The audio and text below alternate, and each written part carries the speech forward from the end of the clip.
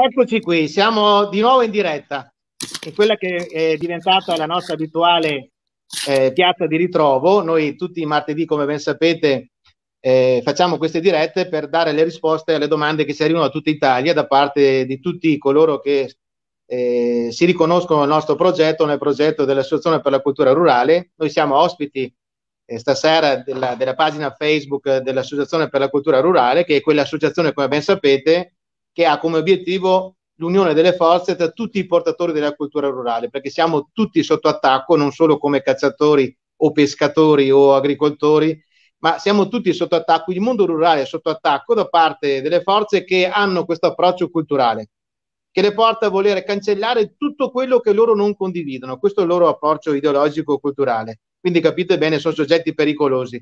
Ebbene, questi soggetti eh, si sono organizzati, eh, abbiamo diverse dimostrazioni del fatto che ormai stanno convergendo le loro energie per tentare di annientarci e noi dobbiamo reagire. Ecco perché abbiamo dato vita all'Associazione per la Cultura Rurale, che appunto unisce le forze tra agricoltori, allevatori, cacciatori, pescatori, cercatori di funghi, di tartufi, la parte propositiva non integralista e mondo ambientalista. Abbiamo il nostro progetto è stato accolto in maniera veramente entusiasmante in tutta Italia. Io passo due o tre ore al giorno a rispondere alle richieste che arrivano da tutta Italia di persone che si vogliono mettere a disposizione. Questa è la cosa più bella. Si vogliono mettere a disposizione perché non vogliono stare eh, nell'angolo a prendere botte, così come purtroppo da troppo tempo avviene, continuando a sentire poi magari la, la solita tiritera da parte di chi dice, magari anche tra i rappresentanti delle nostre categorie, voi non dovete preoccuparvi, ci pensiamo noi a difendervi. Voi pagateci magari una tessera, poi ci pensiamo noi a difendervi. Ne, non serve che voi vi interessiate, non serve che voi eh, andiate a vedere se effettivamente siamo in pericolo oppure no. No, no, tazza, voi state tranquilli, ci pensiamo noi. Esattamente come si disse allora con la 157, quando vincemmo il referendum del 90, 1990 contro coloro che volevano annientarci, noi anche il mondo agricolo, poi ci siamo uniti tra noi, il mondo agricolo, il mondo venatorio e il mondo agricolo e siamo riusciti a sconfiggere i nostri avversari, quelli che si volevano annientare. Bene, è stata approvata dal Parlamento su richiesta purtroppo di dirigenti eh, venatori, è stata approvata una legge che ci ha messo fanalino di coda a livello europeo tra le normative che riguardano la corretta gestione del patrimonio faunistico. Stasera abbiamo un ospite d'eccezione. Definirlo ospite mi sembra che sia improprio perché è un amico carissimo tra le altre cose socio fondatore di ECR e quindi fa parte del comitato di gestione nazionale dell'Associazione per la Cultura Rurale. Non è una, un enclave chiusa, eh, questo comitato, ma è aperto ed è pronto a ricevere, ad accogliere i dirigenti delle varie associazioni che vogliono aderire al nostro progetto. Abbiamo già detto che per aderire al progetto di ACR eh, non serve annientarsi o perdere la propria identità, la propria autonomia, la propria specificità, anzi ognuno rimane quello che è, però unisce le forze come ci insegnavano i, i nostri avi quando consapevoli magari a volte di non avere le forze per sconfiggere un nemico che ti vuole annientare, capivano la necessità di unire le forze con altri soggetti per sconfiggere il nemico comune eh, se lo facevano quando non avevano ancora inventato né internet né Facebook né altre, gli altri strumenti di comunicazione, a maggior ragione adesso che è molto più semplice comunicare ed informare, credo che sia utile eh, mutuare anche questa esperienza. Ecco, allora vi dicevo che abbiamo Andrea Romatico, già noto a tutti voi, salutiamo okay. affettuosamente, eh, che stasera mi aiuterà a eh, dare risposte alle domande che ci arrivano eh, ci alterniamo o, o, intanto è ospite lui eh, della sua associazione eh, che è l'Associazione per la Cultura Rurale o intanto ospita nelle sue pagine eh, ACR proprio per fare in modo da riuscire poi a, a, a dare una completa informazione a tutte le nostre eh, realtà che abbiamo sul territorio e quindi stasera abbiamo lui, abbiamo Andrea che ci dà una mano. Ma ecco, volevo prima di dare la parola a Andrea, anzi intanto eh, gli cedo la parola per per un saluto e poi cominciamo ad affrontare subito quelle questioni che sono di nostro interesse. A te Andrea la parola. Allora, io non posso che ringraziare per uh, l'ospitalità anche questa sera perché mi dà l'occasione di riparlare con la mia gente, è per me la cosa più bella che si possa essere. Insomma, io quest'anno ho sofferto e l'anno scorso non vi dico quanto di non potervi incontrare ad abbracciare come ci capita sempre anche alle fiere dove facciamo una marea di selfie, stiamo insieme, ci raccontiamo le nostre storie, le nostre avventure e soffro a dovervi vedere soltanto così in maniera virtuale. Eh, non vedo l'ora che veramente ci possa essere un'occasione eh, quanto prima per incontrarci. E ve lo dico subito, come ACR, Sergio faccio un piccolo spoiler, stiamo lavorando per cercare di fare il prima possibile la grande festa nazionale e se ce la facciamo ne facciamo tre, una al nord, una al centro e una al sud di ACR. Non comitatologie, cazzate, che sali sui palchi e si parla e si arringa la folla. No, no, una festa dove tutti allo stesso livello e ci piacerebbe fare quello che stiamo facendo qua direttamente con voi, coinvolgervi sempre di più e poter rispondere alle vostre domande una per una e cercare di fare sempre di più squadra. Io adesso prima di tutto voglio partire da un grande concetto che Sergio stasera ha evocato, eh, non l'ha detto a chiare lettere, ma quello di cui c'è bisogno, l'ho già detto nell'ultima diretta Facebook che ho fatto con eh, su All for Hunters e ve lo ridico, c'è bisogno di ritornare a una cittadinanza attiva ragazzi, dovete smettere di pensare che si possa delegare a qualcuno che sta in alto tutto quello che è il vostro futuro, dovete tornare a essere partecipi della vostra vita ragazzi miei. C'è una piccola cosa che è successa, l'avete vista, che va avanti da tanto tempo. C'era mio, uno dei miei maestri, Elemire Zolla, sosteneva che il gatto e la volpe nella favola di Pinocchio svolgono un'azione sociale, perché dice un cretino che è convinto che basta fare un buco in un campo e lì dopo ci semina le monete, nasce una pianta, è giusto fregarlo perché almeno eh, prende una lezione nella vita e quindi può solo crescere. Quello che è successo negli ultimi 30-40 anni, da tanti punti di vista, lo stiamo pagando col sangue, lo stiamo pagando col sangue tante, in tanti modi, è stato che il mercato, la politica, tanti, invece di rendervi sempre più colti, sempre più attivi, sempre più partecipi, hanno fatto non sì in modo che venissero magari eliminate e bloccati i gatti e la volpe, hanno fatto in modo che si moltiplicassero i cretini, cioè che a livello cognitivo e di capacità di partecipazione, di responsabilizzazione degli individui calasse sempre di più e purtroppo è accaduto anche nel nostro mondo e tutti siamo diventati un po' di disimpegno, lo vedete, cos'è stata la caccia fino a poco tempo fa? Vaffanculo, se ne occupano le teste pensanti che abbiamo delegato con una tessera, con qualcosa, poi noi al mare a cazzeggiare, a farci le pippe davanti internet o le partite, le stupidaggini e poi dopo si pensava di poter andare a fare la licenza, sì, ci levano un po' di tempi, ci levano un po' di spese, ce la raccontano che per il nostro bene vaffanculo ci crediamo, poi proviamo ad andare così fino a che siamo arrivati al disastro attuale. Questo non può più funzionare, ve lo dico apertamente, c'è bisogno del coinvolgimento di ognuno di voi, senza aspettare quello che diranno chi fino adesso, me lo posso dire, è stato il gatto e la volpe, vi ha fregato, ha preso i vostri soldi, vi ha convinto, in questo caso, i vostri tessere, la vostra fiducia, a piantarle in un campo deserto desertificato, innaffiatelo, sta tranquillo che domani nascerà l'albero da cui raccoglierai un sacco di monete d'oro, sarà tutto meraviglioso perché ci pensiamo noi. Ecco, avete visto com'è andata? L'avete visto, l'avete toccato con mano, l'avete proprio potuto constatare. Bisogna che ripartite a farvi un culo così.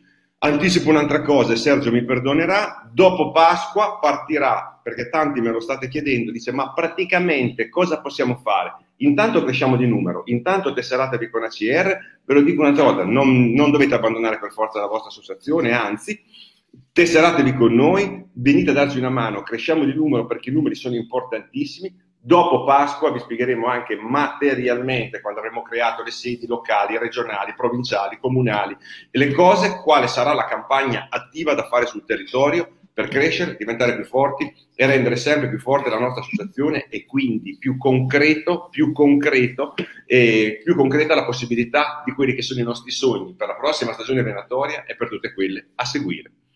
Ottimo Andrea. Allora ecco, c'è qualcuno che tra coloro che ci stanno seguendo, ringraziamo tutti coloro che si sono collegati, si stanno collegando, sono sempre tantissimi. Qualcuno ci chiede ma possiamo fare delle domande? Siamo qui apposta, facciamo questa, questa direi il martedì eh, sera eh, dalle 18.30 19.30 alle volte anche fino alle 20 in base alle domande che ci sono siamo qui proprio per rispondere alle domande ma anche per darvi qualche stimolo in modo tale da provocare qualche domanda giustamente come ricordava Andrea, noi continuiamo a lanciare l'appello alla base del mondo rurale e quindi eh, se c'è qualche dirigente che tentenna, perché magari pensa che aderendo al progetto dell'Associazione per la Cultura Rurale possa essere messo in pericolo il proprio stipendio o il proprio rimborso spese, guardate che non è questo il nostro obiettivo. Se i vostri associati sono d'accordo nel pagarvi il vostro stipendio, i vostri rimborsi spese, è una scelta dei vostri associati. È, il nostro, non è questo il nostro problema. Il nostro problema è garantire un futuro dignitoso alle nostre attività.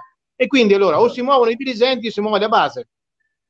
O tutti e due assieme, speriamo. Però alle volte i dirigenti si muovono solo quando sentono scricchiolare la loro seggiola e ora noi magari li aiutiamo a riflettere dando qualche scossone facciamo alle tardi, in modo che si ecco diamo qualche scossone per dire no allora noi eh, continuiamo a rivolgere l'invito a tutti in tutta Italia eh, a mettersi a disposizione così come giustamente diceva Andrea ognuno di noi è artefice del proprio futuro non è che dobbiamo delegare qualcun altro a rappresentarci ACR è la vostra associazione, non è la nostra associazione. No? Quindi venite, è, è, aperto anche l'organismo gestionale nazionale che permetterà a tutti coloro che vogliono prendere in mano le redini di questa potente nave da guerra che abbiamo messo eh, in, eh, in, eh, in varo, che siamo pronti a utilizzarla per fare in modo da garantire un futuro alle nostre attività. Quindi venite, venite a darci una mano e quindi anche sul territorio io sto continuando a individuare e incaricare persone comune per comune che facciano parte del nostro progetto, della nostra organizzazione, quindi anche da qui rivolgo l'invito a tutti coloro che si vogliono mettere a disposizione. C'è chi può dedicare un'ora a settimana, chi magari due ore, chi tre ore. Ognuno, lo dico sempre, è come un grande fuoco.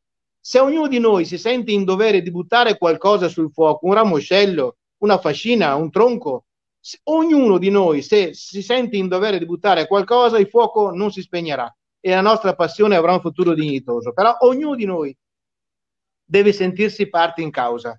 Non dire ma tanto c'è aromatico, berlato, gli altri, no. Ognuno no. di voi deve essere protagonista in questa grande battaglia che abbiamo deciso di combattere per, per difendere le nostre attività. Ecco, ora, quindi eh, consultateci attraverso, siamo presenti su tutti i social, siamo presenti attraverso il nostro sito, consultate la nostra segreteria, chiamatemi, io vi ho già dato il mio numero di cellulare, è il 340 7272 689, potete chiamarmi direttamente, non c'è nessun problema, oltre che a scrivere a info associazioneculturarurale.it oppure il numero di telefono, questo vedete in sovraimpressione è indirizzo di posta elettronico presso il quale ci potete contattare oppure attraverso il numero di telefono della nostra segreteria 0445 361 052. Quindi contattateci, mettetevi a disposizione. non è un lavoro, perché tutti noi abbiamo il nostro lavoro, le nostre occupazioni, ma così come fate quando dedicate una parte del vostro tem- tempo libero per andare a caccia o a pesca o, o le altre attività che esercitate, bene, voi dovete capire che dovete interessarvi di caccia, di pesca, di agricoltura, di allevamento soprattutto quando queste attività non sono esercitabili, perché dobbiamo pensarci prima come seminiamo da agricoltori in inverno per poi avere la capacità di raccogliere i frutti della nostra semina in estate successiva. Ecco, dobbiamo pensarci prima, non dobbiamo pensarci quando è troppo tardi, così come stiamo informando correttamente dei pericoli che corrono i nostri mondi, perché è giusto informarvi e per essere ancora più credibili noi vi informiamo pubblicando dei documenti. So che questo può dare dispiacere a qualcuno, però è carta accanto villan dorme, no? E ora, durante le nostre dirette, qualcuno avevamo fatto, cioè, per quanto riguarda la caccia, abbiamo fatto riferimento a un documento che eh, riguardava un accordo fatto dai dirigenti della defunta UNAVI e i dirigenti delle varie organizzazioni anticaccia presenti in Italia. Riguardava l'approvazione della legge sulla, sull'applicazione del regime di deroga, ancora la legge 221 del 2002. Qualcuno diceva, ma insomma, che, che, che fandoni raccontano? Cioè, ci raccontano che i dirigenti venatori hanno sottoscritto un accordo con gli anticaccia. Sì, e, e, e l'ho fatto anche vedere. Adesso lo possiamo eh, tranquillamente... Eh, no, per dire. Questa, vedete, è una nota della defunta UNAVI con la quale c'era l'accordo con il mondo animale ambientalista, adesso vi facciamo vedere, scorri un po', Leonora, così vediamo facciamo vedere con chi era stato sottoscritto. Guardate giù. Ecco qua. Allora, guardate. Le, vedete in fondo qua, le associazioni ambientaliste WWF, Lega Ambiente, l'IPU Edea e l'UNAVI avevano fatto questo accordo, sottoscritto congiuntamente un documento che avrebbe vanificato, vanificato l'applicazione del regime di dialogo in Italia, perché questo documento che è stato sottoposto a firma congiunta tra i, vedete, le associazioni ambientaliste WWF Lega Ambiente e Unione Nazionale Associazione Ambientale Italiana, UNAVI, concordano sulla necessità di migliorare il decreto di disegno di legge attraverso l'approvazione dei seguenti emendamenti. Migliorare in realtà avrebbe reso inutilizzabile lo strumento eh, per l'applicazione del regime di deroga. Accordo fatto, ma per dire documenti, perché io non voglio fare la guerra ai dirigenti venatori, ma è giusto che se i dirigenti venatori sbagliano, è giusto fare in modo che i loro associati siano informati. Questo, questo, per quanto riguarda il documento, ma non è solo questo, ne abbiamo pubblicati degli altri, poi arriviamo però al dunque de, della situazione. Guardate, ce n'è un altro, col quale c'è stato un accordo sottoscritto tra altri dirigenti venatori e una delle più grosse associazioni ambientaliste anticaccia presenti nel nostro paese. Per dire, no? Allora, questo documento, che è un documento sottoscritto dai dirigenti e Lega Ambiente, Lega Ambiente non credo sia un'associazione venatoria, per dire no, e che ha manifestato la propria posizione sulla, la propria posizione eh, sulla caccia attraverso un documento. Vedete, questo è il protocollo sottoscritto. Certo, qualcuno mi dice, ma è un documento vecchio. Sì, ma ne abbiamo di recentissimi. Però ve ne faremo, vi faremo vedere, questo è giusto che lo sappiate, io vi farò vedere la prossima riunione un documento firmato da un dirigente di un'associazione venatoria ancora nel 1972, che chiedeva l'abolizione della piccola migratoria in Italia, un documento pubblico che vi farò vedere e che vi potete scaricare nella prossima riunione. Questo protocollo sottoscritto 2014-2016, tra queste associazioni Lega Ambiente, Federcaccia, Arcicaccia hanno dirigenti di queste associazioni, e, i cui contenuti non sono neppure a conoscenza di loro associati, eh, però questo documento sostanzialmente è fatto con Lega Ambiente per dire un accordo con loro. Ma cosa, cosa prevede Lega Ambiente per quanto riguarda la caccia? Guardate, ve lo faccio vedere subito. Giù, giù, vai, scorri in giù, che così vediamo l'altro documento che c'è sotto. Poi questo qua è pubblico, eh, ce lo, lo abbiamo pubblicato sulle pagine Facebook, lo potete scaricare e leggere. Vedete, ancora, vedete, firmato da Rossella Muroni, direttrice nazionale Lega Ambiente, Gianluca Dall'Olio, presidente nazionale Federcaccia, Osvaldo Veneziano, presidente nazionale Arcicaccia, Marco Castellani, presidente nazionale ANO Migratoristi, che hanno fatto l'accordo con Lega Ambiente. E voi ne vedrete i contenuti. Guardate, qui poi Federcaccia, Arcicaccia si allenano con Lega Ambiente.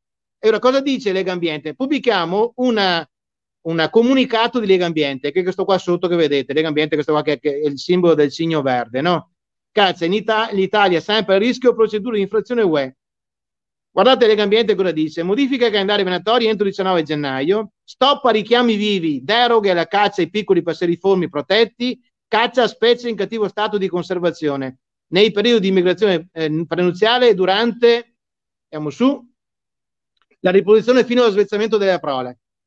La Lega Ambiente sollecita le regioni italiane a modificare entro lunedì prossimo i loro calendari venatori per evitare così al nostro Paese un ennesimo processo di infrazione in campo eh, ambientale molte regioni continuano ad autorizzare la caccia a 19 specie di uccelli in cattivo stato di conservazione, in assenza dell'approvazione di specifici piani di gestione.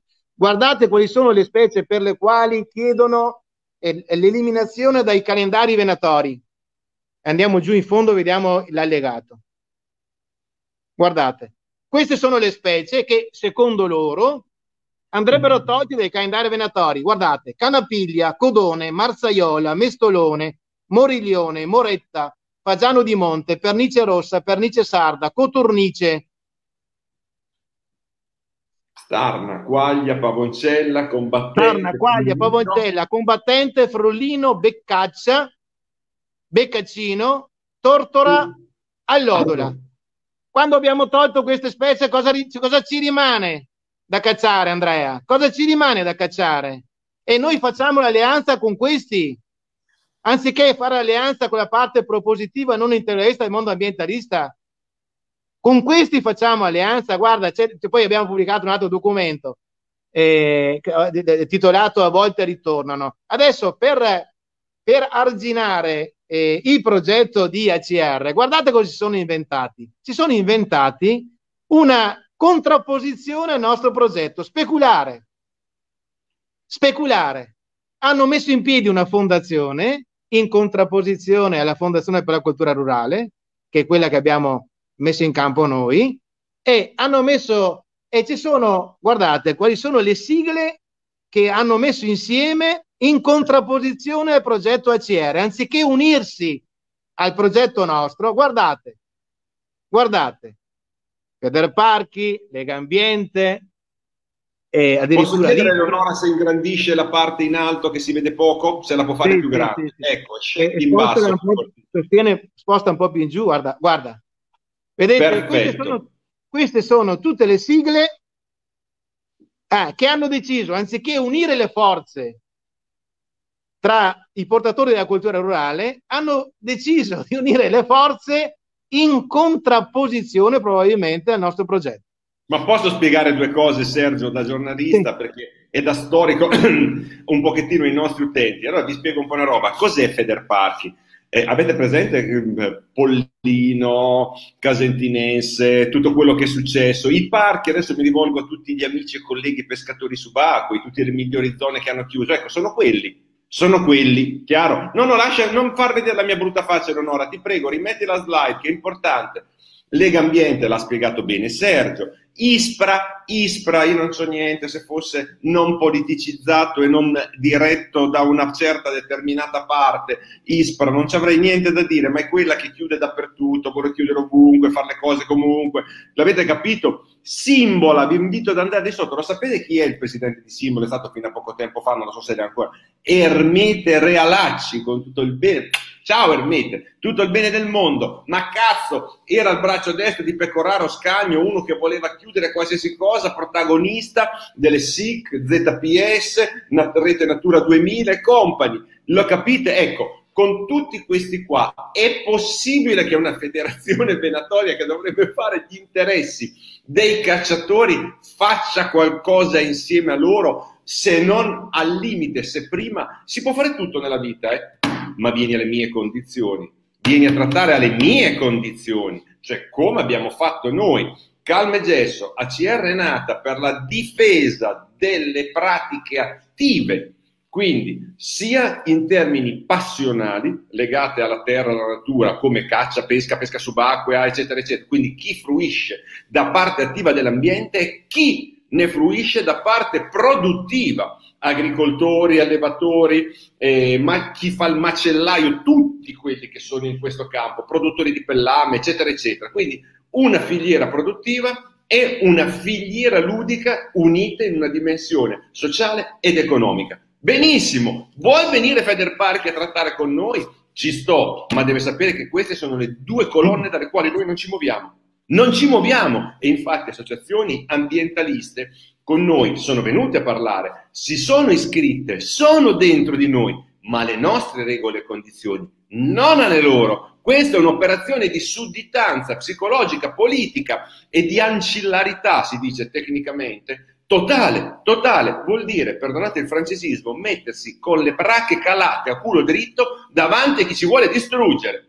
Davanti a chi ci vuole distruggere. E quello che è più grave, e questo è gravissimo ragazzi, che viene fatto alle vostre spalle, perché io, Sergio, e questa è una cosa che abbiamo per statuto, prima di prendere una qualsiasi decisione come organo direttivo, ci confrontiamo con voi, vogliamo sapere la vostra opinione, ci dovete dire se dove ci stiamo muovendo è giusto o sbagliato, vi invitiamo ad entrare a darci una mano in tutti i modi, non che firmate una delega in bianco, facciamo come cavolo ci pare, mm. davanti alla faccia vi diciamo guarda che facciamo il bene vostro e poi dopo vado a fare gli accordi col nemico perché magari nelle segrete stanze mi promette qualcosa a titolo personale, perdonatemi, col cazzo, uno non ce n'ho bisogno, due c'ho la mia dignità, non lo farei mai.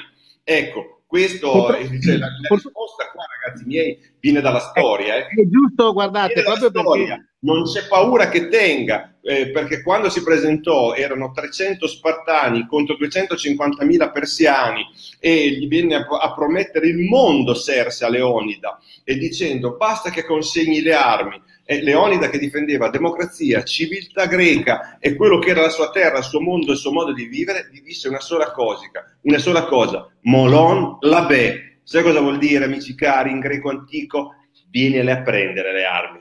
Ecco, questa è la Beh. stessa identica cosa, non si cede di un centimetro. Ecco, Questa noi... è, veramente, è veramente una calata di brache totali di fronte al nemico, una cosa intollerabile, peggio fatta a vostra insaputa. Scusa, ecco, allora, siccome, è nostro, siccome è nostro dovere garantire una corretta informazione e informare la base e non di permettere ai dirigenti di fare le camarille all'insaputa della base. Allora noi informiamo e mostriamo i documenti in modo tale che non ci siano interpretazioni malevole, perché siamo responsabili di quello che diciamo e quello che facciamo, no? E quindi abbiamo la responsabilità di informare correttamente. Come? Vi abbiamo informato correttamente per primi, subito, del pericolo che sta correndo la caccia attraverso la raccolta firme che non va come ignorantemente o brigantemente è stato detto da qualcuno, non va a modificare, a cancellare tutta la 157. Io ho pubblicato il documento che dimostra che le, eh, i quesiti referendari non vanno a eliminare la 157 e qualcuno ha detto anche tra i dirigenti venatori, Andrea, ha detto, tu ne sei testimone, ha detto meglio eh. perché se questi qua vincono il referendum e viene cancellata la 157, torna in vigore la 968 del 77. Come si fa a essere così eh, poco avveduti? Stavo pensando un'altra cosa, da affermare queste cose. In realtà i quesiti referendari che sono stati depositati prevedono la cancellazione, come ACR abbiamo pubblicato tutti i quesiti referendari e anche il testo della 157 con evidenziato in giallo le parti che verrebbero cancellate se questi vinceranno il referendum. E ora vuol dire che rimane in vigore della 157, non viene cancellata tutta, ma rimane in vigore solo la parte protezionistica, cioè vengono cancellate tutte le parti che permettono l'attività venatoria. Avete capito qual è la mossa? E qualcuno tra i dirigenti venatori, i rappresentanti istituzionali, addirittura ha detto eh, ma non c'è nessun pericolo, state tranquilli, che anche se viene abolita la 157, comunque si farà una, una nuova legge migliorativa, ma voi pensate che se questi vincono il referendum, il Parlamento, questo Parlamento, formato per i due terzi di anticaccia, questo Parlamento faccia una legge ancora migliorativa rispetto al 57 o forse non farà, farà una legge che terrà in considerazione la vittoria del referendum da parte degli anticaccia? Vi devo dire una cosa perché mi è stata riferita nelle stanze istituzionali. Qualcuno sta già lavorando con il nemico per concordare il testo di una nuova legge sulla caccia più punitiva rispetto all'attuale 157 per evitare il referendum. Esatto. Capite? Stanno già trattando con il nemico prima ancora di combattere stanno già vendendo, svendendo i nostri diritti con il nemico, magari in cambio di qualche eh, vantaggio personale, stanno già eh, trattando con il nemico per predisporre una legge per non andare a referendum. Cioè una legge come il 157 che è come se avessimo perso il referendum prima ancora di combattere la battaglia. Però scusatemi, eh, di questo parleremo in un'altra in un'altra occasione. Adesso, sempre per quanto riguarda la coerenza e soprattutto noi ci limitiamo a dire le cose che riusciamo a dimostrare. In una mia diretta ho parlato della necessità di stare attenti, di informare l'opinione pubblica sulla pericolosità di coloro che usano l'integralismo animale ambientalista, che si propongono all'opinione pubblica utilizzando eh, degli atteggiamenti eh, alquanto affidabili, usano eh, quella è la sensibilità per l'uccellino, per il cagnolino, per il gattino, no? l'emotività. Ma io vi ho detto, state attenti che molti di questi sono pericolosi, pericolosi. E vi ho fatto dei riferimenti a alcuni testi. Io guardate, per, per combattere il nemico, lo studio a fondo e sono anni che studio i nostri avversari. Molte delle battaglie che abbiamo vinto le abbiamo vinte proprio perché io conosco molto bene gli avversari, ma loro anche il loro approccio ideologico, da dove vengono, chi sono, quali sono le vere loro obiettivi, le loro malsane convinzioni. Ho fatto riferimento ad alcuni testi e io pubblicherò anche qui. Stasera ve ne faccio vedere uno, ma ne farò vedere degli altri. Stasera vi faccio vedere alcune parti salienti di un, un libro che ho evocato durante uno degli incontri che si chiama Ecologia domestica. Ve lo faccio vedere, ma poi ve ne farò vedere un'altra sera un altro che proprio è scritto da questi dai guru del mondo animale ambientalista che individua l'uomo, l'essere umano, come il cancro del pianeta. Lo definiscono così. Cioè loro dicono, affermano, scrivono, scrivono nelle loro convinzioni, scrivono che eh, essendo arrivato, con il suo arrivo sul pianeta Terra, l'uomo ha scombussolato l'equilibrio animale. Quindi l'uomo si è trasformato nel cancro del pianeta. Quindi questo cancro deve essere estirpato deve essere estirpato, cioè l'essere umano deve essere estirpato. E questo a dirlo sono dei presunti esseri umani? Dico presunti perché se perché scrivono queste cose, però vi, vi, farò vedere, vi farò vedere quel libro, altri perché ne ho, ne ho diversi. No? Stasera vi faccio vedere un libro del quale ho fatto accenno e, e che è questo, guardate, vi faccio vedere la copertina. Non solo la copertina, ma è questo qua, lo trovate in libreria. Si chiama Ecologia Domestica. Guardate da chi è stato scritto, è stato scritto dal, da quello che è stato eh, il presidente nazionale del WWF Italia per tanti anni. Fulco Pratesi. Oh, aspetta Sergio, lo dico anche presidente di parchi e cose che per esempio in Abruzzo è stato presidente per anni, non lo hanno mai visto a 7-8 mila euro al mese dalla, dalla, sede di Roma, perché capito perché vogliono i parchi, perché poi dopo si danno le presidenze, le vicepresidenze, non l'hanno mai visto eh, nella sede di siamo, Abruzzo. Siamo Abruzzo intervenuti senza il navigatore della macchina non sa manco come si trova, andiamo avanti. Andrea, ecco lo dico a coloro che ci seguono, proprio oggi siamo intervenuti come ACR proprio affrontando affrontando la questione della parcomania e quindi dobbiamo opporci come mondo durale alla parcomania, che la parcomania, noi abbiamo una legge statale, la legge quadro sulle aree protette, la 394 del 91, che è una delle leggi più liberticide che abbia conosciuto la nostra Repubblica. Una legge che ha creato con la parcomania, ha creato parchi e zone protette in tutta Italia, che sono eh, nella maggior parte dei casi dei poltronifici per politici trombati, che costano una quantità spropositata di risorse pubbliche e che hanno come obiettivo principale l'abolizione della caccia, perché a 39491 prevede come cardine fondamentale l'abolizione della caccia nelle aree protette. Unico caso al mondo, perché in tutto il mondo, nei parchi, nelle aree protette, si caccia in maniera regolamentata, ma si caccia. Anzi, la caccia è una delle principali fonti di autofinanziamento delle aree protette. In Italia non si, danno, non si, danno, i permessi edilizi agli amici degli amici per farci le ville, quello ecco. non si fa nel resto del mondo, ma si va a caccia. Ecco, in, Italia, in Italia invece è diverso perché nei parchi spesso non si è fermato la, le speculazioni edilizia, le discariche a cielo aperto, non si è fermata la cementificazione, non si è fermato il degrado, però si è fermata la caccia, la pesca, l'agricoltura e l'allevamento. Questo hanno fatto attraverso la legge quadro sulle aree protette. Va bene, allora, però veniamo al dunque, perché abbiamo poco tempo a disposizione. Vi dicevo di, allora, Fulco Pratesi, tra le altre cose, cacciatore pentito, perché io conservo i suoi scritti di quando lui andava a caccia e conservo dei suoi scritti, scriveva su Diana, scriveva su Diana, li conservo ancora, io, io conservo documenti da tanto tempo, in modo tale che qualcuno quando dice no, guarda che ti stai sbagliando, esibisco i documenti, non le mie opinioni. Ebbene, Pratesi che era cacciatore, cacciatore pentito, poi, e poi da pentito cacciatore eh, ha, ha, ha, imbracciato, eh, non so se per convinzione o, o, per quale motivo, ha imbracciato la tesi animale ambientalista anticaccia. Vabbè, comunque, vedete, Fulco Pratesi, ecologia domestica, Bonton Verde e altre divagazioni, vedete, eh, era edito, vedete in fondo scorri ancora un po', edito dalla COP, vedete basso, non poteva che essere questo, così, no? Edito dalla COP, eh, per dire su questo. Questa è ecologia domestica. Guardate, vi faccio vedere alcuni passaggi.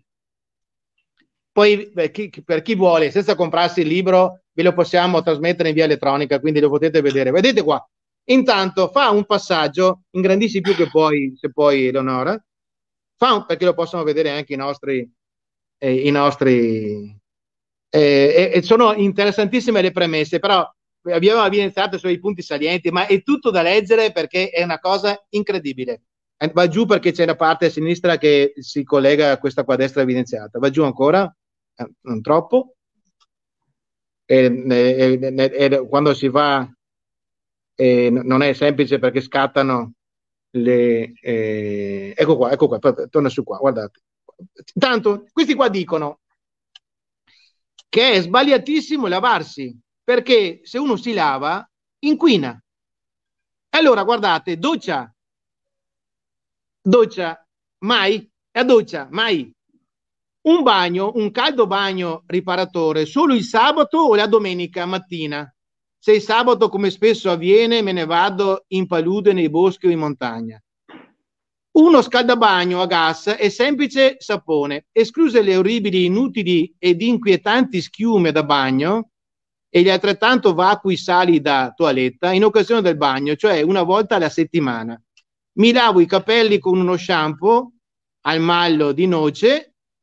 A molti sembrerà un comportamento un po' rischioso per i rapporti umani, ma vi posso assicurare che anche senza impiegare i deodoranti, altro prodotto da condannare, riesco a stare tra la gente anche d'estate senza provocare proteste.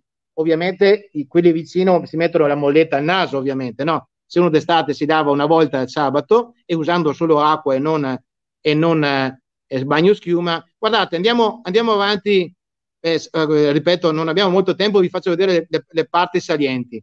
Allora, andiamo giù. Vediamo questo cosa riguarda. Eh, allora, eh, parla ancora di deodoranti da, da, da evitare. Allora, se, allora, guardate qua. Eh, per tornare nella sfera del privato, fra i tanti odori spariti ci sono, uccisi dai deodoranti, quelli corporei. Milioni di anni fa, quando l'uomo aveva il pieno controllo dei suoi cinque sensi, l'olfatto giocava come per quasi tutti i mammiferi un ruolo essenziale, richiamo sessuale marcatura del territorio, legame di gruppo. Le, state attenti. Se il fatto di fare pipì negli angoli e dietro gli alberi, al di là di altre considerazioni, potrebbe avere un significato, come avviene per i lupi, i cani e altri mammiferi, questo lo dice anche gli uomini lo devono fare, di delimitare, di delimitazione inconscia di una propria area di influenza, non ha detto che le esalazioni dei piedi in certi individui particolarmente acute non servano, come avviene per alcuni mustelidi e alcuni cervidi, per marcare il proprio passaggio. Quindi se sentite uno che non si lava e che puzza i piedi come un caprone, lui dice che è una cosa salutare. Guardate, avanti.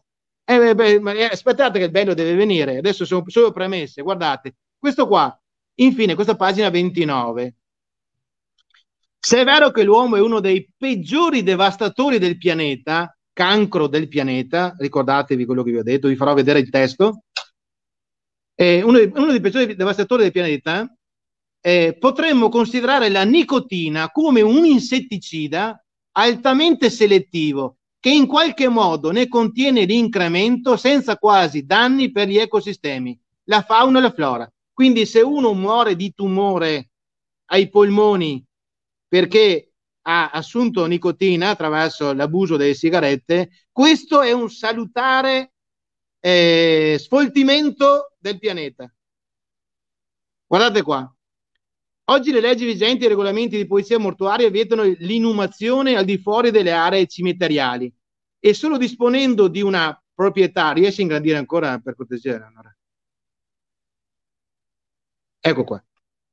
Oggi le vigenti regolamenti di polizia mortuaria vietano l'inumazione al di fuori delle aree cimiteriali e solo disponendo di una proprietà, di una cappella a ciò destinata, si può, con lunghe e defatiganti procedure, farsi seppellire fuori dai cimiteri comunali. Per venire incontro alle esigenze di coloro che desiderano veramente tornare in Pulverem, occorrerebbe fondare un'associazione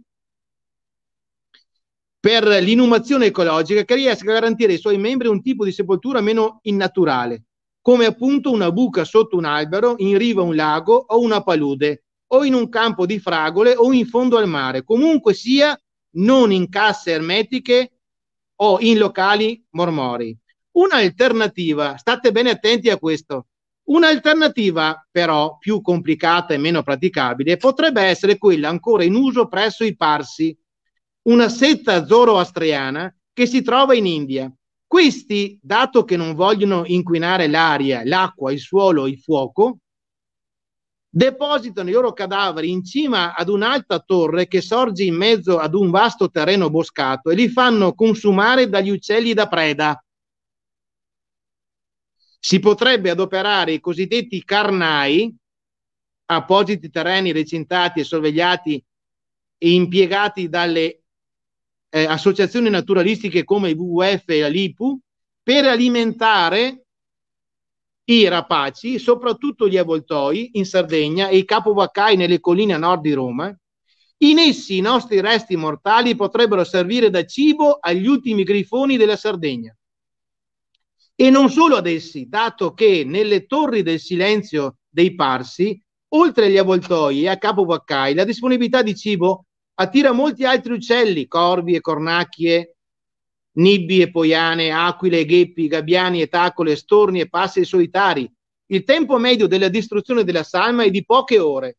Restano le ossa, è vero, ma a questo inconveniente si potrebbe ovviare se al festino, così lo chiama lui, eh, se al festino partecipasse anche l'avvoltoio barbuto, piuttosto comune in Corsica, che per abitudine lancia dall'alto sulle rocce le ossa per divorarne midollo, in pochissimi giorni delle nostre spoglie mortali non resterebbero che escrementi mineralizzati e immediatamente impiegabili dalle piante come fertilizzante organico. Guardate un'altra cosa, poi vi faccio vedere. Posso Sergio dirti una roba? Aspetta, Scusa, aspetta, aspetta, aspetta, Andrea, aspetta, vedi questa dopo, dopo ti do la parola. Guarda perché interessante è questa, a destra, eh, per cortesia, dalla pagina a destra. Ecco, vai in su, Guardate, eh, ora una, eh, prende come esempio uno del Partito Liberale, ha stabilito che una volta morto i suoi resti dovranno essere distribuiti tra gli ospiti del canile municipale di Battersea. Un'alternativa, guarda a destra qua, più proponibile potrebbe essere, come ha suggerito l'ecologa Laura Conti, di creare apposite scatolette di cibo per cani e gatti in cui la carne umana sostituisce una percentuale di quella di altri animali, canguri, balene, eccetera. Quindi dicono questi che i nostri resti umani devono essere utilizzati per le scatolette per cani e gatti, perché in questo modo si salverebbero la vita a tanti animali che vengono uccisi per dar da mangiare a cani e gatti. Quindi per non uccidere i polli o altre robe del genere, propongono di utilizzare i nostri cadaveri per dar da mangiare a cani e gatti. Vedete qua, questo c'è un articolo di giornale, Sudafrica, naturalista si uccide per sfamare gli avvoltoi. Eh, Andrea, aspetta, delirio. No, adesso posso dirti però una cosa. Vediamo altri punti che sono molto interessanti. Vai, vai. una roba, adesso ti faccio una parentesi, poi concludi. Cioè, io una cosa che a me mi sbalordisce, no? che questo siamo di fronte a una follia conclamata, no? Io, ragazzi miei, io ritorno al manifesto di una di prima, io ritorno al manifesto di una di prima. Io vi conosco, amici delle associazioni venatorie, come conosco anche alcuni dirigenti di una di cui ho una stima assoluta dal punto di vista umano. La domanda che vi faccio, pacatamente, serenamente, ma come cazzo fate a mettervi con sta gente qua?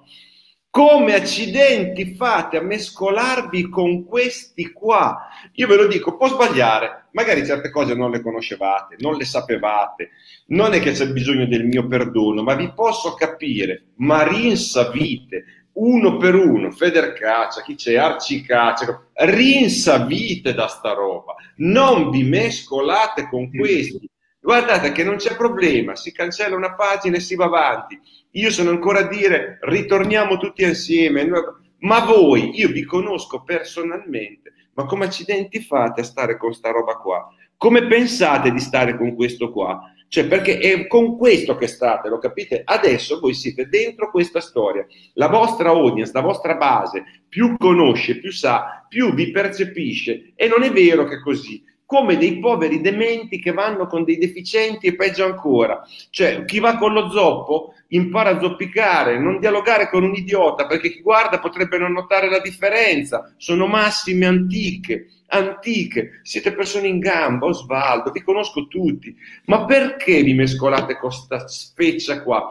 Perché fate robe di questo genere? Ho detto, può esserci le paure, è, una, è un, fondamentalmente un sentimento umano comprensibilissimo Cosa vi devo fare? Scrivervi un patto col sangue che di Andrea Romatico, Sergio Berlato, di tutti i nostri dirigenti, di tutta la base che ormai è più di 30.000 iscritti di ACR, non dovete aver paura di niente, ma Cristo, state tranquilli, state sereni, troviamoci, abbracciamoci, ma non vi mescolate con sta roba qua, perché nel medio-lungo periodo vi fate male. E oggi siamo nell'epoca di internet, Sergio ve lo sta dimostrando chiaramente.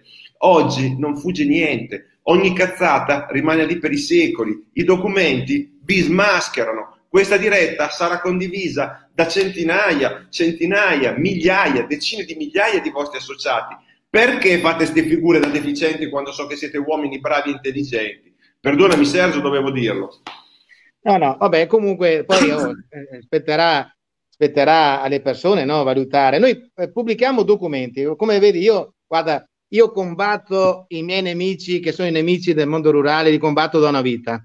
Per dire, se avessero potuto eh, aggrapparsi a un minimo mio errore, sapete quante cose io so, ma non le dico fino a che non riesco a dimostrarle quei documenti. Ebbene, io riesco a dimostrare quei documenti e mi limito a dire solo le cose che riesco a dimostrare, altrimenti, e io altrimenti sarei stato già incarcerato molto tempo fa, per dire no, o querelato e via dicendo. Allora, e io invece ho la mia fedina penale perfettamente pulita perché sono un cacciatore orgoglioso di essere cacciatore della fedina penale perfettamente pulita. Eppure ho denunciato criminali, ho denunciato delinquenti, ho denunciato i ladri del Mose, ho denunciato una serie di soggetti anche vicini politicamente a me ma io ho sempre detto, no? quando qualcuno mi diceva, ma guarda Berlato che attenzione perché stai denunciando quello scandalo, ma guarda che lì dentro c'è anche qualcuno della tua area politica e io ho risposto ogni volta, guardate, è come se nel mio paese dove io abito ci fosse qualcuno che mette in giro una voce in base alla quale uno dei miei figli è un ladro. Io avrei la possibilità o temendo che quella voce sia vera o tentare di coprire tutto no? e fare in modo che la cosa passi sotto vento, ma in questo modo, se io tentassi di coprire, autorizzerei tutti nel mio paese a pensare che la famiglia Berlato è una famiglia di ladri, iniziando dal capofamiglia.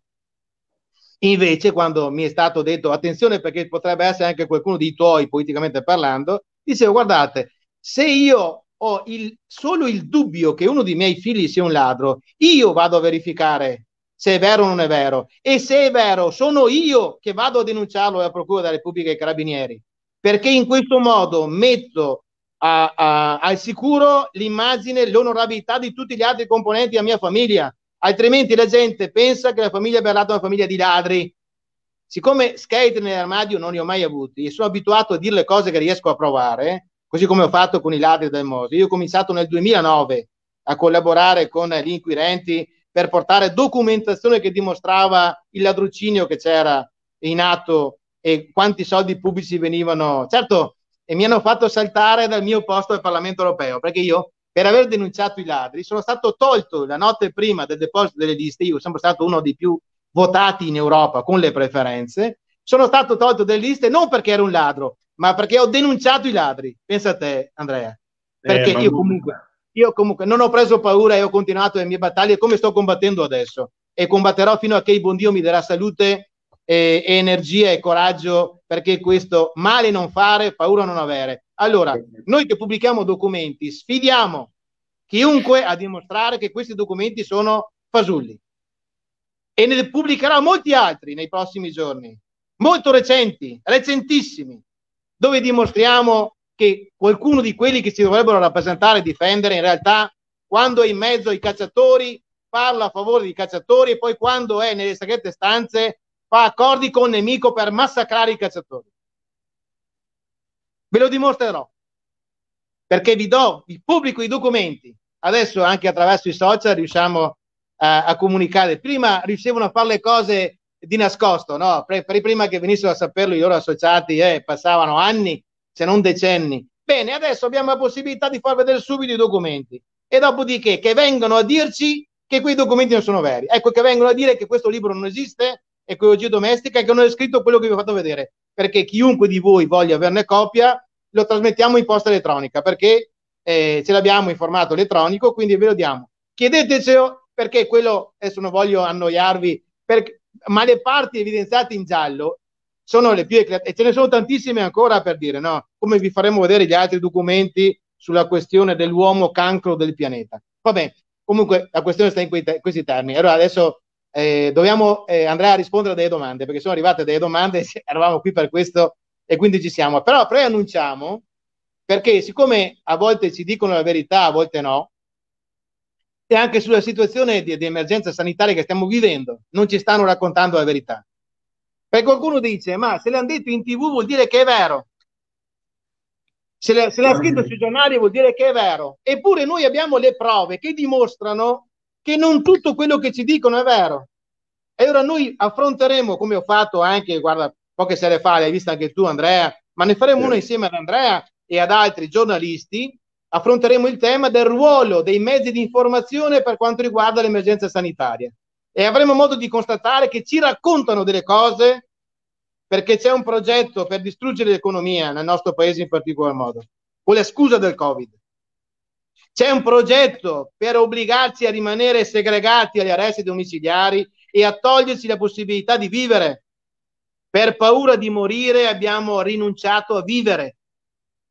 E questo è quello che succede, no? Allora, su questo, pensate che allora in Europa stanno discutendo la commissione che non si occupa solo del piombo, di vietare il piombo nelle zone umide, ma si sta discutendo di fare un passaporto verde, si chiama certificato verde digitale, un passaporto, e qua guardate, ne discuteremo, Andrea, una, delle prossime sere lo discutiamo assieme sta roba qua, e parlando di emergenza sanitaria, eh allora, su questo, passaporto verde che si dà solo a chi è vaccinato, a chi è guarito o chi si è appena fatto il tampone. Tampone la cui validità è tutta da dimostrare e attendibilità. Perché anche su questo abbiamo fatto una trasmissione parlando con degli esperti, con degli scienziati. Va bene, comunque resta il fatto, per quello che ne parleremo. Quindi, allora, se passa sta tesi qua, Vuol dire che quelli che hanno il passaporto possono andare a prendere un aereo, prendere un autobus, prendere un treno. Chi non si è fatto iniettare in vena questo vaccino, e io non sono un Novax, eh, io non sono contro i vaccini, e io non sono un oscurantista, un complottista o un negazionista, però ho dei seri dubbi quando l'Organizzazione Mondiale della Sanità scrive che per poter mettere in commercio un vaccino deve essere testato da minimo 3, dai 3 agli 8 anni, e questi in pochi mesi hanno messo in commercio un vaccino della cui efficacia non si sa nulla, della cui pericolosità non si sa nulla. E se io vado a vaccinarmi perché mi costringono a vaccinarmi, devo io firmare una liberatoria con la quale sollevo da ogni responsabilità le multinazionali farmaceutiche che hanno messo in commercio questo vaccino. Io devo, che sono obbligato a vaccinare, io no, per il momento non mi vaccino, eh, tanto per essere chiaro fino in fondo, ma io se voglio prendere un aereo, quanta, se passa questa idea del, del passaporto verde, io devo, per andare a lavorare, devo essere costretto a vaccinarmi e devo firmare io una liberatoria con la quale sollevo da ogni responsabilità delle varie complicazioni, degli effetti collaterali, i fornitori di questo vaccino. Ma vi sembra una cosa normale? Ma eh, mi sembra una, una cosa, cosa. Metto soltanto una cosa, Sergio, eh, e poi dopo ritorniamo a parlare del nostro mondo. Eh, che questi fornitori di, vaccini, di questi cosiddetti vaccini sono tutti pluricondannati da sentenze di frodi miliardarie, ma miliardarie, tutti, eh? tutti, la. Vabbè, comunque, questo, lo, questo, lo, questo lo vedremo. Intanto, al di là del curriculum di questi, io ritengo che sia aberrante che uno che è costretto a farsi un vaccino debba firmare una liberatoria con la quale solleva da ogni responsabilità chi ti ha fornito quel vaccino. È una cosa che ritengo inaccettabile. È, è, una, è, una, è una, cosa che, che è no, no, da terzo mondo, perché nel terzo mondo non si fanno prendere per il culo così come ci stiamo facendo per prendere per il culo noi. Con un'emergenza sanitaria che sta massacrando la nostra economia. Le conseguenze di natura economica, occupazionale e sociale che provocherà questa emergenza sanitaria sono di proporzioni devastanti, incalcolabili. I veri morti, le varie vittime le vedremo quando scoppierà l'emergenza economica e occupazionale e sociale, non quelli che vengono classificati come morti, magari perché lasciati abbandonati a casa in vigile attesa in base a un protocollo nazionale, in vigile attesa e trattati solo con attacchi pirina. Cioè, su questo io vi dico che, eh, vabbè, vedrete, eh, eh, romperò i, i, coglioni al mondo su sta roba qua, eh, usando anche il mio profilo istituzionale. Queste cose le grido ai più alti livelli istituzionali. Va bene, comunque tornando a noi, per quanto riguarda, scusate perché a volte mi infervoro. Allora, eh, per quanto riguarda eh, la questione, poi vi faremo vedere anche, abbiamo tanti altri documenti, ce n'è uno Andrea, quando io ero, eh, allora ero consulente eh, consigliere particolare ministro Alemanno, ancora nel 2000, 2001, 2002, 2003. E io ho predisposto, oltre alla modifica alla legge di recepimento della legge della direttiva comunitaria sulle deroghe, che poi è diventata legge 221 del 2002, quando i dirigenti de, della defunta UNAVI hanno sottoscritto quel documento che chiedeva di non approvare così, ma di pianificare il, nostro sforzo. Fortunatamente poi abbiamo mandato una lettera a firma di Alemanno, che era allora ministro dell'agricoltura e caccia a tutti i parlamentari invitandoli a tenere in considerazione quell'inciucio tra dirigenti venatori e dirigenti anticaccia. No? E fortunatamente il Parlamento ci ascoltò e venne approvata la legge come l'avevamo predisposta noi. Ma c'era anche un'altra questione. Allora, noi abbiamo tentato di modificare la 157, ebbene c'è un documento che vi faremo vedere nelle prossime sere, sottoscritto ancora tra mondo venatorio, rappresent- presunti rappresentanti del mondo venatorio e rappresentanti del mondo anticaccia, con il quale, anche con alcune organizzazioni agricole, e, e con il quale si chiedeva al Parlamento di non accettare le nostre modifiche della 157 che volevamo eh, semplicemente equiparare alle altre normative comunitarie.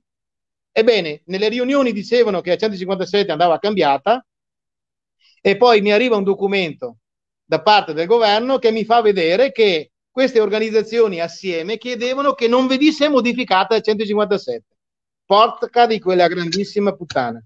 Va bene, veniamo a noi per quanto riguarda la questione. Eh, come possiamo reperire questi documenti? Me richiedete, mandatevi una mail eh, info chiocciolaassociazione cultura rurale.it e, voi, e noi vi manderemo i documenti. Questi e, quei do- e altri, ve ne faremo vedere molti altri. Eh. Eh, eh, Andrea. Sì, però una preghiera, non è che riprendete e rivedete per voi, fate una bella cosa, condividete, riprendetevi, ecco, cosa possiamo fare, mi chiedete sempre, cominciate da qui, prendete questi documenti, fateci dei post su Facebook, dei post su Instagram, dove vi pare e condivideteli a decine e decine di amici cacciatori, perché ora che tutti sappiano cosa c'è dietro, perché Noi... nulla che occulto non dovrà diventare manifesto, non lo dice Andrea Ormatico, lo diceva il nostro Signore Gesù Cristo. Eh? Nulla che io... non deve diventare manifesto. Io non, io non, volevo scomodare Gesù Cristo in croce, però hai fatto bene a ricordarlo questo per dire che noi ci assumiamo la responsabilità di quello che diciamo, di quello che facciamo, ma vogliamo che ognuno si assuma la responsabilità di quello che dice e di quello che fa, soprattutto se lo dice e se lo fa all'insaputa dei propri associati che sono quelli che ti finanziano con le loro tessere. Esatto, Ecco, è importante che sappiate finora come siamo stati rappresentati, finora come siamo stati difesi o svenduti al nemico. È giusto che lo sappiate. E dopodiché ognuno continuerà a seguire la propria strada, ma lo farà in maniera consapevole. Ma attenzione, per, quando chiedete i documenti, attenzione, perché correte un grande rischio. Sapete qual è? che una volta che siete, siete venuti a conoscenza dei documenti, e cioè della verità, Se non farete nulla per modificare lo status quo, sarete anche voi complici di questi. Sarete anche voi complici di questi che a vostra insaputa hanno fatto. Perché un conto è la scusante che voi non sapevate, ma quando voi saprete, sarete esatto. complici. Attenzione, è giusto che lo sappiate. Adesso, lo posso, posso dire una roba? È un po', ragazzi, come potete far finta di non sapere finché non lo sapete che siete cornuti. Ma quando l'amico vi porta le foto e le prove che siete cornuti, perché vi hanno la compagna o il compagno vi ha tradito miliardi di volte e avete le prove, a quel punto potete essere o cornuti e contenti, ma state zitti e dopo la smettete di rompere i coglioni, o altrimenti dovete fare qualcosa e bisogna prendere delle decisioni dolorose per quanto care, quanto, per quanto necessarie, insomma ragazzi, quando uno viene a sapere di essere stato tradito e cornificato e reagisce di conseguenza. Giusto Sergio? Non lo so, eh. Ah, guarda, tu sai che ci sono dei soggetti che godono fare la parte eh, passiva, no? Eh, perché uno dice, vabbè, eh, a me fa piacere, vabbè, eh, io rispetto, però è giusto che tu sappia che se alle volte esatto. dopo senti strani, se senti strani bruciori non sono le emorroidi, cioè, devi capire questo, no, scusate, coloriamo un po' metafore, le, metafore ecco, qualche metafora, però per dire no, no, perché adesso passa un altro che, che scrive, ma eh, a me dicono che invece i referendum chiedono l'abrogazione delle 157 in totale, quindi è un bene, non è un male. Non è così. Abbiamo pubblicato il documento, adesso ve lo facciamo vedere. E che cazzo, non è mica, cioè, mi sono mica abituato a... Però è giusto che... Eh, eh, scusami Andrea, ma facciamo vedere sta roba. Io ho già pubblicato per dire no, ma probabilmente qualcuno allora, non l'ha visto. Posso, posso, fare un piccolo cappello giornalistico mentre, mentre Eleonora sta preparando il documento? Fosse, e non è, anche solo l'abolizione della 157. Ragionate, ok, viene abolita la 157. Innanzitutto è incostituzionale che ritorni in vigore la legge precedente. Si deve riscrivere una legge perché la, quella 157 ne aveva sostituita un'altra. Quindi devono riscriverla comunque. Sulla pagina che vi faccio tutto voi, Sarà in termini migliorativi o peggiorativi per il nostro mondo? Mi avvicino ancora. Sarà meglio o peggio? Né? Capite che non è una cosa possibile, anche perché poi vorrebbe dire che a quel punto hanno vinto il referendum, per cui il legislatore sarà costretto a tenere presente il fatto che hanno vinto il referendum, per cui sarà comunque una legge peggiorativa. Migliore delle ipotesi, migliore delle ipotesi, se facesse questo referendum, ancora dico, anche se fosse in quei termini lì, e non è, adesso ve lo mostriamo, questo qui cosa è successo? Guardate immediatamente il mondo della comunicazione. Non ha fatto in tempo ad arrivare la notizia del deposito delle firme per il referendum che nel giro di breve tempo Rai 3 e Canale 5 hanno fatto delle trasmissioni dove si riparlava di caccia massacrandoci. Vorrebbe dire che per lo stesso, il solo periodo del dibattimento che ci sarà in tv, sui media, legato alla caccia, sarà un massacro di mesi nei nostri confronti. Quindi ragazzi, eh, potrà poco essere una cosa buona tutto questo. Chi da un'associazione vi dice è eh, una fesseria, non è niente, non è... mente sapendo di mentire. O è un incompetente, l'ho detto un milione di volte, o è un incompetente, quindi avete messo a eh, dirigervi un incapace o vi sta mentendo. Non c'è un'alternativa e mi assumo la piena responsabilità di quello che dico, perché in termini della storia della comunicazione, il semplice fatto di porre un argomento alla evidenza dell'opinione del dibattito pubblico, soprattutto in un momento ideologizzato come questo, altro non sarà che un massacro, ve lo posso garantire, del mondo della caccia. Nelle migliori delle ipotesi faranno decine di trasmissioni per parlare di merda di noi, peggiorando ancora di più la nostra immagine, quindi un'altra volta dovrà tenerne conto il legislatore, quando in caso comunque vada al referendum. Quindi come si fa a dire non è niente, è una cosa buona? Ti ho detto, tocca essere o in malafede o totalmente incompetenti. Andrea, tanto, ecco, no, no, eh, ti capisco perfettamente che anche a me girano le eliche quando sento delle cose, eh, ma il, il problema, vedi, non nasce dal fatto di vedere che qualcuno per opportunità, per sue convenienze, racconti che il diavolo è morto dal freddo o che la luna è caduta nel pozzo. Che le racconti, quello che mi stupisce è che ci siano dei cacciatori che ci credono. C'è della, della gente in buona fede che ci crede, questo mi stupisce. Vabbè, comunque, eh, guarda, facciamo vedere questo documento no, per semplificare la vita eh, dei nostri cacciatori. Guardate, questa l'ho pubblicata, ma anche questo è un documento che potete avere. Questo è la, il testo della 157 dove è evidenziato in giallo ogni parte di cui i quesiti referendari chiedono l'abrogazione. Quindi la 157 per effetto del referendum non viene abrogata totalmente, ma viene abrogata solo in queste parti. Vedete, all'articolo 1 rimane la fauna selvatica patrimonio disponibile dello Stato, rimane tutto quanto come, come, com'è. Viene cancellato solo il comma 2, l'esercizio dell'attività venatoria è consentito purché non contrasti con l'esigenza di conservazione della fauna selvatica e non arrechi danno effettivo alle produzioni agricole. Questo viene cancellato.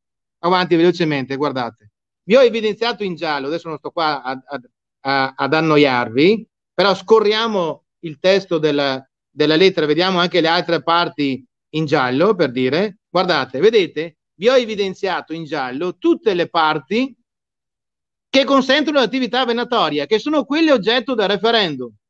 Avanti ancora? Possiamo scorrere abbastanza velocemente, adesso non sto qua a leggerle tutte, ma invito, guardate, questa è la parte. Ad esempio, questo è l'articolo 5, eh, che, dove che prevede eh, eh, l- l- tutto l'esercizio di attività venatoria. Questo esercizio venatorio da appostamento fisso e richiami vivi, tutto, totalmente cancellato. Ma ogni parte che consente l'attività venatoria viene cancellata. Ecco, per facilitare la lettura a, a, a chi magari non ha eh, ehm, dimestichezza con eh, le leggi e quant'altro, abbiamo tutte quelle che vedete evidenziate in giallo, sono tutte parti che vengono cancellate per effetto del referendum. Tutto ciò che consente l'attività venatoria rimarrebbe in vigore solo la parte eh, di protezione e basta. E sulla caccia riscriverebbero un testo che dovrebbe, come dico sempre io, tenere conto dell'esito referendario, cioè di dire si va a caccia soltanto il, la domenica dalle 6 alle 6 e un minuto per gli ottantenni accompagnati dai nonni. Ecco, più o meno sarà i, così. Forse con il fucile, ma comunque senza cartucce. Forse esatto. con il fucile, ma comunque senza cartucce. Ecco, vabbè. Esatto. Comunque, vedetevi questo che abbiamo pubblicato sulla pagina Facebook di ACR eh, oppure chiedeteci i documenti, ci mandate una mail e noi, ripeto, info chiocciola associazioneculturarurale.it, ecco lì lo vedete in sovraimpressione, chiedeteci i documenti e noi ve li mandiamo. Preparatevi una bella cartellina perché ne abbiamo tanti di documenti da farvi vedere e vi faremo vedere tutti. Stampate e condividete. Stampate, ecco, condividete, fate i post più che potete. Dite cosa possiamo cominciare a fare dopo Pasqua? Piano operativo. Nel frattempo cominciate così. Sergio, dai che bisogna che lasciamo i nostri amici che devono Allora, richiudiamo. Una do- un'altra domanda. C'è un'associazione venatoria che ha aderito ad ACR, così facciamo le tessere con chi è della nostra parte. Noi abbiamo pubblicato, ve l'ho detto, mi ero preso l'impegno no? con Andrea. Pubblichiamo sul sito internet di ACR le associazioni che hanno aderito al nostro progetto. Per il momento sono la Confederazione delle Associazioni Venatorie Italiane, l'Associazione Cacciatori Veneti, Federfauna e man mano le pubblicheremo tutte in modo tale che i cacciatori sappiano chi ha aderito al nostro progetto e chi non ha aderito o magari ha aderito a un progetto alternativo concorrente proprio per tentare di tagliare le gambe al nostro progetto. Quindi su questo la trasparenza deve essere garantita. Andrea, abbiamo sforato un po' i tempi. Io sono eh, dispiaciuto, ci sono tante domande che sono arrivate però risponderemo martedì prossimo a queste altre domande, quindi mi prendo l'impegno come abbiamo sempre fatto, abbiamo un pacco, guardate, c'è un pacco di, di domande che, che ci è arrivato e, e quindi eh, faremo in modo da rispondere a tutte queste domande martedì. Stasera era un'occasione troppo ghiotta, avendo un ospite d'eccezione nostro, che è Andrea Romatico, un amico carissimo nostro, che già eh, vi continua a parlare di tante questioni di vostro interesse, però stasera ecco, ci siamo un po' dilungati nel far vedere documenti, cioè nel garantirvi una corretta informazione, perché ritenevamo e riteniamo che fosse un atto di rispetto nei vostri confronti. Informarvi correttamente è un atto di rispetto nei vostri confronti e noi abbiamo troppo rispetto per voi che avete la nostra stessa passione per tenervi all'oscuro di quello che sta accadendo. Bene. Non credete a quelli che vi dicono eh, state tranquilli, noi interessatevi che ci pensiamo noi a difendervi. Attenzione. Andrea, grazie mille della tua eh, squisita presenza. Noi ringraziamo tutti coloro che ci hanno seguito e che ci vorranno porre altre domande. Coloro che vogliono i documenti ce li possono chiedere e io eh, sarò ben lieto assieme alla nostra segreteria di darvi tutto ciò che chiedete. Buona serata a tutti voi, grazie per la vostra attenzione. E allora, per chi ci dice sempre che siamo i ribelli, guardate ragazzi, sì, mi metto anche il cappuccio alla Robin Hood e cominciamo la guerra da, da Sherwood. Non si molla ad un centimetro contro le angherie dello sceriffo di Nottingham. Ciao. Bene, bene, bene. Grazie, ciao, ciao Andrea, ciao a tutti voi. Buona serata a tutti. Grazie. Ciao.